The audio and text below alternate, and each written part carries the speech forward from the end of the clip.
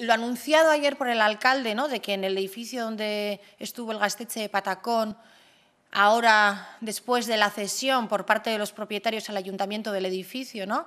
se va a destinar a, un vivero de empresas o a un espacio donde se van a crear nuevas empresas, creemos que desde luego es una broma de mal gusto. Y nos llama poderosamente la atención porque ni siquiera hace un mes que este Ayuntamiento de Bilbao ha cerrado tres viveros de empresas. Hace menos de un mes.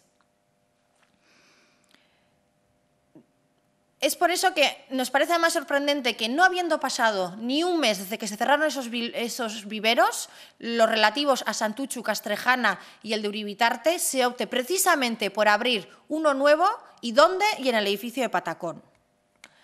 Creemos que si este ayuntamiento ha tomado cartas en el asunto con tanta rapidez, ha sido un gesto de reacción a la iniciativa que los y las jóvenes de Uribarri tomaron a la hora de ocupar una iniciativa que dejaba en evidencia la inoperatividad de este ayuntamiento que había permitido que durante, este, durante 50 años ese edificio, ese edificio estuviera vacío.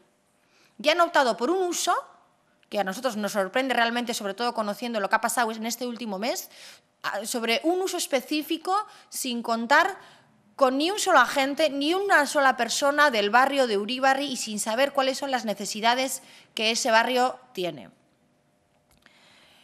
No nos sorprende, la verdad, porque creemos que es un ejemplo más de la forma de actuar del alcalde, que hace unas declaraciones en un medio de comunicación, habla de lo primero que se le ocurre, sobre todo porque no quiere entrar en un tema que le pone bastante nervioso, que son las deficiencias de equipamientos públicos que existen en los barrios de Bilbao.